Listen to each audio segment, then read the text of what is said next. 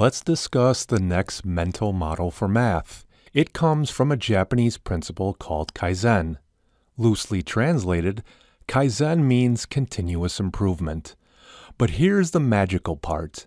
Instead of large improvements, you make small steps each and every day. Take a new skill like sports or math. Suppose you make 1% improvements every day. After 30 days, most people think you'd be 30% better, but that is not the answer. Due to compounding, after 30 days with a 1% improvement each day, you'd be 34.78% better. After 60 days, you'd be 181.67% better.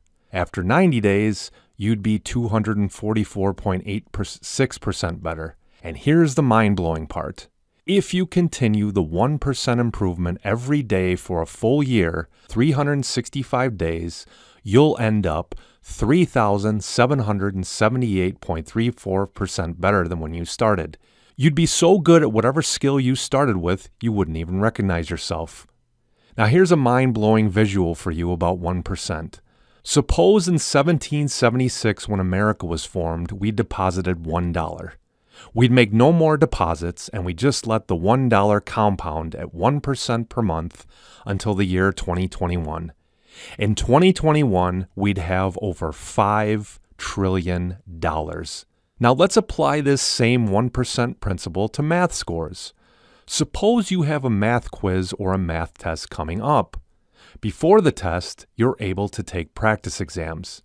Let's say on your first try on a practice quiz or test, you score 75, which for most schools is a C grade. Now, we know that repetition is the mother of all learning. So let's take the same practice test or quiz again. But each time we retake the quiz or test, let's assume we get 1% better on our score. By the seventh attempt, we'd improve enough to get a B grade at just over 80%.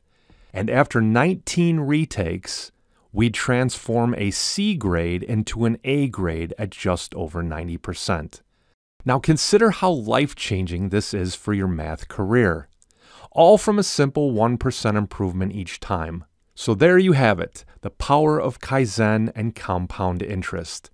You start with 1% improvements, rinse and repeat, and watch your life transform for the better.